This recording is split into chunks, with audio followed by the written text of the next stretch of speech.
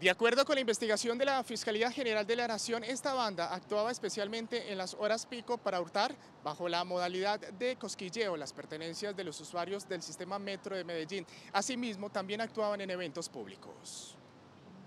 Entre los elementos hurtados hay celulares, joyas y otras pertenencias personales. Las víctimas eran interceptadas en los vagones del metro y los delincuentes determinaban diferentes estaciones de sur a norte para robar. Tenemos establecido dos recorridos que hacían, uno en la mañana y otro en la tarde. El de la mañana era de 5 y media de la mañana a 8 y media y lo hacían en el sentido norte-sur, desde las estaciones de Acevedo hasta el Parque Berrío.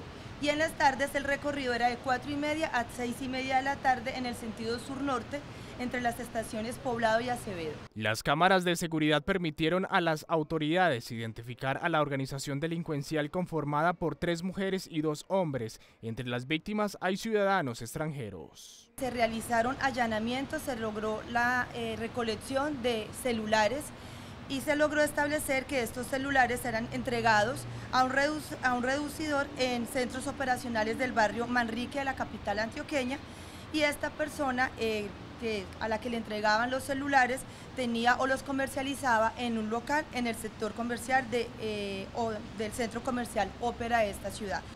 Por su parte, los usuarios del metro precisaron sentirse inseguros a la hora de usar el sistema, pero aseguraron que los ladrones aprovechan para actuar cuando hay alta afluencia de viajeros, especialmente entre las 5 de la tarde y las 7 de la noche.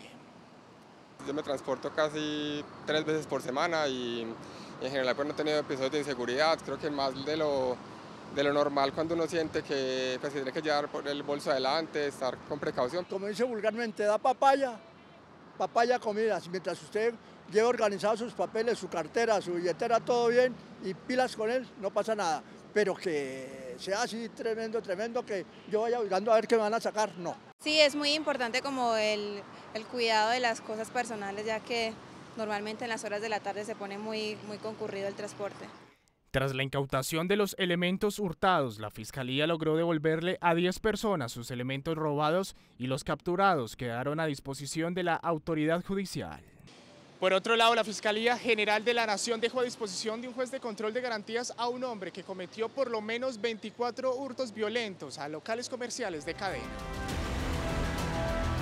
En cámaras de seguridad quedó captado el actuar de este hombre cuando ingresa a un establecimiento comercial de Medellín. El individuo se hacía pasar por un cliente para no despertar sospecha, pero una vez llegaba al punto de pago amenazaba con arma a las cajeras.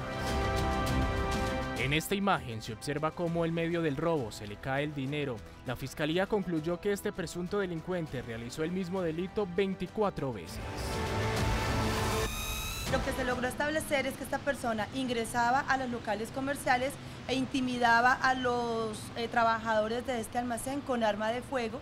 La fiscalía logra la captura y se logra eh, la judicialización de esta persona imponiéndole medida de aseguramiento en centro carcelario. El hombre de 34 años deberá comparecer ante un juez por el delito de concurso homogéneo por 24 hurtos calificados. Asimismo, está señalado de robar cerca de 20 millones de pesos.